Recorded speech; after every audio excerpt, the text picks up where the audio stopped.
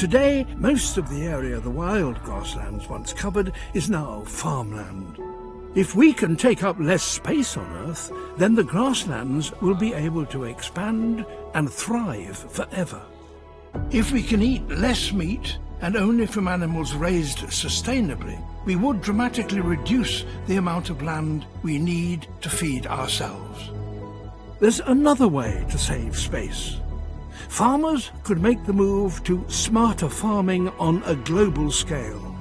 New tools include ocean crops, real-time data and urban farming. If we help farmers globally to adopt these ideas, we will produce far more food on far less land.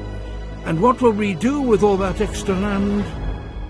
We could invite the wild grassland to return.